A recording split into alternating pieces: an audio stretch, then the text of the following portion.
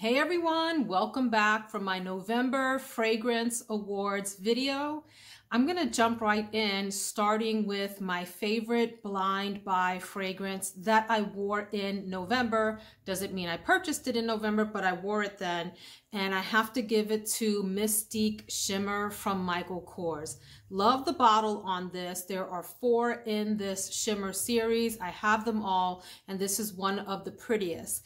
It's a warm and spicy fragrance for the most part. You get amber, some musk, there's a saffron note that comes out. Even though it is considered warm and spicy, I to me this comes across a little bit dry. If you have smelled Santal blush from Tom Ford, it's a little bit like that, yet with a more creaminess um, and something a little bit warmer. Like if you were able to warm that one up, you might get something like this. Uh, it's just lovely for sweater weather, any kind of occasion really. I would wear this to the office. I would, I don't go to offices. I work from home. But if I did still work in an office, I would feel comfortable wearing this there. Really non-offensive, uh, one that my husband and family enjoyed on me in general. Mystique Shimmer. The next categories are my favorite bottle and my least favorite bottle. So in last month's uh, fragrance awards, I featured Borouj or Borouj Gravity, which is one of my favorite fragrances. Really sexy, wonderful fragrance. I wore its cousin or sister, uh, Borouj Lamasat Oud, which has oud as the top, it has guaiac wood as the middle, and then there's a musky base. So this one leans more masculine, Lamasat Oud, but it's still, I think, really beautiful. So there are five in this series. Uh, Gravity, Lamasat Oud in this like bronzy, uh, brownish bottle. There is Perlador, I think it's a gold bottle, and then gray, a gray bottle called Spiritus, and a new one, I don't know if it's new or we're just discovering it, but a purple one called Modernity. I have them all. They're all beautiful. Gravity and Modernity are more uh, feminine. Lamasat Oud and Perlador maybe are in the middle, and then Spiritus, the gray one or silver one, if it's silver or gray, whatever, is uh, much more masculine. So anyway, this bottle is just gorgeous. I said in my October video that this one could have won best bottle for October, but I'm gonna go on and give it to Lamasat Oud from Borouj. And then my worst bottle, but not worst scent, only bottle design is Michael Kors. I've loved this fragrance uh, pretty much since it came out. I think it was in 2001, if I'm not mistaken. This was a little strong when it first came out, but that might have been because of my age at the time. I have been wearing this for the better part of 20 plus years uh, and have an original formulation and then the reformulation, which has the Kors on it. The original formulations only say the word Michael on the front, just so you know in case you're interested. Gorgeous, heavily floral, tuberose, uh, gardenia type of fragrance, very feminine, powerful, and I hate the bottle well, I don't hate it. That's a little extreme, Veronica, a little extreme, but it could be better. It doesn't tell you anything about the fragrance inside. It looks like a really stark building, just a plain, you know, a plain old building. We can see me. Hi, Veronica. Anyway, one of my favorite fragrances, wish the bottle design was better. The next category is the sexiest fragrance that I wore in November. There are a lot of contenders for this category, but I am going to go with Atara by Michael Malul London. I really do like this bottle. It's cute. It's a little bit like kitschy maybe. The fragrance itself is heavily fruity, and sweet. It has some vanilla in it. I think there's pear at the top or somewhere in it and maybe a currant note. Uh, I will say that when this first opens up, I actually get grapefruit. It's not listed as a note, but that is what I get from it, like a tart grapefruit. No, not tart, Veronica, a sweet grapefruit. how grapefruit smells once you've and tastes once you've sprinkled some sugar in it. Like imagine the smell and the taste of that combined is what I get from this when it first opened. That dissipates quickly and you're left with this really, really uh, strong, concentrated fruity, sweet fragrance with vanilla and I think there's praline uh, and some tonka bean in here as well. It's sweet and it's gorgeous. It reminds me a lot of La Nuit uh, Trésor, maybe like a la Folie meets something some other fragrance that has a citrus note in it. If you mix those together, you might get something like this. This was very long lasting, by the way, and a crowd pleaser here in this very picky household. This is a winner, Atara. The next category is my best everyday fragrance from November, a fragrance that you can wear all day, every day for any occasion, hanging around the house, running groceries. You don't run groceries, you run and do groceries or you run errands those things, hanging out in your sweater and jeans, uh, hanging out with your friends. The fragrance that I'm referring to is EO01 Woo. by Biehl This Parfumkunstwerke. Uh-huh. This is a fragrance that is wonderful for the fall. It's got so many notes in it. Don't want to read them all to you but there are kitchen spice notes in it. Like there's cinnamon, there's nutmeg, there's vanilla. Uh, it reminds me a lot of like a very dulled down pumpkin pie spice kind of flavor with something baking in the oven. Um, like imagine bread baking in the oven and you've got spices in it. That's what this reminds me of. It's a little bit woody and it's soft. That's why I call this an everyday fragrance. This is not a powerhouse that's going to knock folks out. This is really close to the skin, very pleasant, very fall-like. In the next category, we're talking about a fragrance that will make a great gift, best gift. I usually reserve this category for like the most universally likable scent of the month. I didn't really have one like that this month, so I take, I'm taking a chance on this, and I'm going with one that I cannot pronounce. I'm sorry. I think it is Mirac or Mirage or Mirage or something like that. Help me, who knows how to say this, by Tiziana Terenzi. I really like that it comes in this gorgeous gold bottle, which in and of itself is a fantastic presentation for someone. This has to be for someone that does enjoy fragrance and is willing to be a little bit daring because it is a daring fragrance. There is a lot going on in this and it's hard to describe. I'm still getting to know it myself, what I can tell you is that it covers a lot of ground in terms of categories. It's sophisticated, it's elegant, it's sexy, it's grown up. Um, it has a lot of rose, you get that for sure. There is oud in here as well, which is very soft. There's saffron. There's some sandalwood and vanilla. So it's this at the same time that it's oudy and rosy, it's also sweet and a little bit woody too. There's a patchouli note in here also. Um, yeah, I think this would make a really beautiful, elegant gift for the fragrance lover. However you pronounce this, this one. Next is the fragrance that is best for the season. So here we are, late November. This is actually my scent of the day today. This is like the amped up version of that EO01 by Biehl. It's 720 by Maison Sybarite. This fragrance also gives me that kitchen spice with something baking kind of vibe, yet amped up. It also has a lavender note, which I think makes this a little bit more complex even than the EO01 uh, fragrance. And it has patchouli and tonka bean in the base. So it's a little bit stronger, more amped up. Like imagine if that one was almost like a really light EDT or body spray concentration, this might be like the extrait version of that. Um, I do like these bottles. I don't know that I liked it at first, but I think I'm digging it.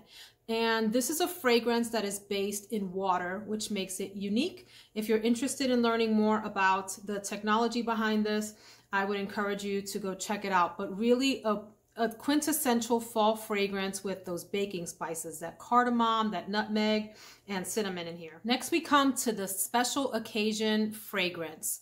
So I have a tie here, mostly because I have to fit these in somewhere and I wanted to talk about both of these and they really are gorgeous for special occasions. One is Bronze Tonka from Carolina Herrera. Look, oh, those of you that are into powerhouse fragrances, you get coffee and oud and saffron and sandalwood in here.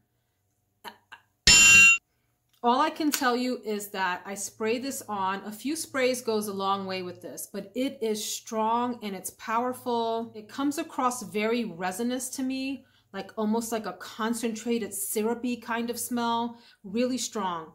As it dries down, the leather and the coffee come out more in this um, and it is beautiful, but you need to like super strong fragrances or this is gonna just like overpower you and you're gonna hate the experience. The one tied with Bronze Tonka is, we know this one, Tom Ford Noir Pour Femme. Beautiful fragrance. It has citrus at the top with ginger. So it opens kind of fresh and spicy and it starts to settle down into something really sweet and ambery and vanilla, a little gourmand with edge. It's like a night gourmand, if that makes sense. Absolutely gorgeous. Um, has sandalwood in the base and is a really like wonderful evening special occasion kind of fragrance. Definitely a crowd pleaser. On to the fragrance that is the biggest surprise, and maybe this could have been my favorite blind buy for the month. It's Casablanca from Swiss Arabian. We've heard this one talked about over and over again all over YouTube. So I hesitated to purchase this. I had the entire like Swiss Arabian sampler pack not the entire, but it's a huge pack with like 30 something samples. And I remember trying this and going, it's okay. I don't understand what the big deal is. It seemed a little blah to me. But then I took the plunge and purchased it because of why? FOMO. We know about this. and uh, and pleasantly surprised. So this really is a lot more than I gave it credit for when I sampled it. There's something so different about having the bottle in hand and actually spraying yourself for the day versus a little sample on the back of your hand or something. Sometimes that gets it, but not always. You don't really get to know the fragrance. I have to say, this was super delightful for the day and it lasted a long time. I thought it wouldn't last long.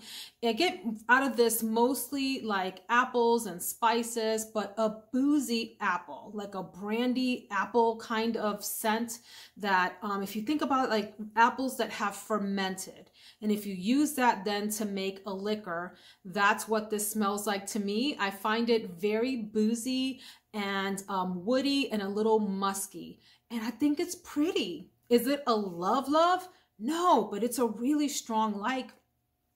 I'm a little parched and one that I look forward to wearing again soon. So yay, yay, jazz hands for Casablanca. One that isn't a safe blind buy. People may disagree with me, but I'm standing my ground on this one. And it's one that I like, but it is By the Fireplace by Maison Margiela. Here's why. If you're not very adventurous with your fragrances, this is going to smell bizarre and maybe even sort of stinky when you first put it on because you get this very distinct like smoky firewood campsite kind of smell that is a little bit too much with this very very strong I don't know it's like um it's like burnt syrup kind of smell. Burnt wood, burnt syrup. Yeah, that does dissipate and it does calm down as a composition after a while. And then you get the nutty accord, which is chestnut in here. Obviously it's woody and it's also very vanillic in the dry down. I like this a lot, but I think it's challenging, especially I would say for the first maybe 30 minutes to like an hour until it really mellows out a lot. But this is a really popular fragrance. And I bring that up for people that are considering this uh, and not sure what they're getting themselves into. Just know that if you're not very adventurous, the opening of this can be off-putting. We move on then to the top fragrances of the months. The we move on then to the top fragrances of November, the ones that I love the most and would advise people to really look into. The first one is controversial. This could have been maybe not a safe blind buy as well. In fact, it really isn't a safe blind buy. Is there a safe blind buy? Mancera Instant Crush. Uh, people have likened this to BR540. Yeah, there are some similarities. mostly because there's a really strong sweetness at the top with this heavy, heavy saffron. Now, saffron's a funny note. It's one that could smell like body odor to some people, like maybe a little armpit-ish and body funk-like uh, to some folks. I happen to like it. To me, it smells spicy. Oh my God, I just got my red lipstick all over the bottle. Nasty nasty girl. This is a hard one to describe because it, it, does have that BR540 vibe and that it's like elusive, right? As a fragrance and difficult to describe. I get like this cotton candy, wispy, sugary thing at the top with the saffron. It comes across to me almost leathery. Like this and Spirito Fiorentino from Tiziana Terenzi have some similarities at the top that way. This has also patchouli. You get a little bit of patchouli in here. The vanilla as it dries down, some sweetness. There's even oak moss. There's a lot going on in here. It's pretty complicated uh, and a fragrance that can get really overwhelming if you're not careful with your sprays. I am a heavy sprayer. I do, I don't know, five to eight sprays of this. And that's a little bit for me because I'm one of those that douses myself completely. But I think this is a gorgeous fragrance. And with Mancera, you get a lot of value for your money in these huge bottles and they're pretty long lasting. The second of three in my favorites of the month is Ambre Sultan by Serge Lutens. This is a very heavily resinous ambery fragrance with some incense in there. You get some kitchen spices like coriander. Ooh, there's no incense. Looking at the notes, it's myrrh, which comes across as incense to me, but oregano, patchouli, um, there's vanilla in here. I, listen, lean in, huddle.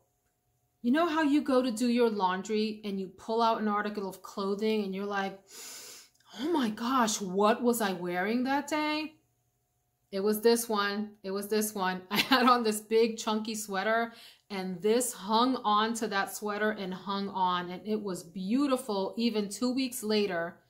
Yeah, it took me two weeks to wash that sweater. It was there and it was gorgeous. Whew. Yeah, winner. And then finally in the top three, and then we have two more quick categories. Angel Share. I mean, what else is there to say about this beautiful fragrance? It everyone loves this in my house. This is one of the most like boozy, cinnamon e, kitchen spice e, baked apple pie ish fragrances. Um, just I love this.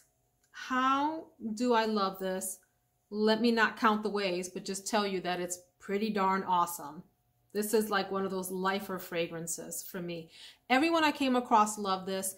I went out that day shopping uh, with one of the kids, and every store I went into, someone asked me about this fragrance. That was one place. One place someone asked me about it. This next category I used to call my bottom three. I'm going to just change that to my average three, my meh three.